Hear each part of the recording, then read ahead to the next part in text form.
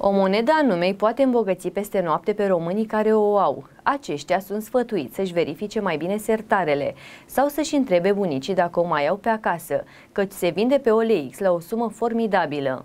Din ce în ce mai mulți români au început să câștige bani frumoși din monedele vechi pe care le-au păstrat cu grijă de-a lungul anilor. Colecționarii plătesc sume frumoase de bani pentru a-și întregi colecția. Românii sunt luați cu asalt de apariția unei monezi vechi pe site-urile destinate vânzărilor diverselor obiecte. Este vorba despre moneda de colecție de 20 de lei cu Ștefan cel Mare din anul 1992, care se vinde pe OLX cu suma formidabilă de nici mai mult, nici mai puțin de 25.000 de euro. Persoanele pasionate de colecționarea monedei monedelor și bagnotelor vechi românești pot profita acum de o nouă ocazie pentru a o face. Moneda cu chipul lui Ștefan cel Mare este scumpă, dar nu atât de tare precum polul lui Carol I din aur, care acum specialiștii o estimează la suma de 100.000 de euro. A fost bătută în 200 de exemplare, când a fost pusă în circulație în anul 1868. Potrivit Academiei Române, moneda din aur din anul 1868 a fost prima monedă monetară a țării noastre. Apariția sa într-o perioadă în care statutul politic de subordonare față de Imperiul Otoman otoman nu permitea baterea unei monede de aur, a constituit o surpriză și în același timp un gest abil și temerar al regelui Carol I, de afirmare a politicii sale, orientată către obținerea independenței țării. Moneda este una dintre cele mai mari rarități din numismatica românească, ea fiind bătută doar în câteva sute de exemplare. Mai mult decât atât, raritatea sa este excepțională, un număr foarte mic de exemplare aflându-se în colecția Băncii Naționale a României, în muzeul acesteia a Bibliotecii Academiei Române, prin cabinetul său numismatic tematic, respectiv în colecția Muzeului Național de Istoria României, totalul neatingând 10 exemplare. Ca urmare, valoarea de piață a acestei remarcabile piese este de circa